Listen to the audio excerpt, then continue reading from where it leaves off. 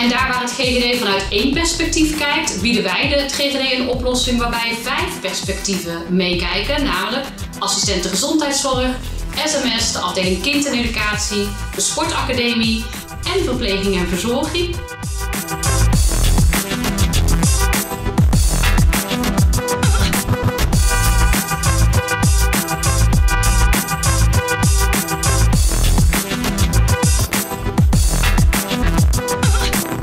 Dus als je het zou moeten samenvatten, dan zou ik zeggen dat het Innovatielab staat in het teken van het bedenken van oplossingen op een creatieve manier met een multidisciplinair team.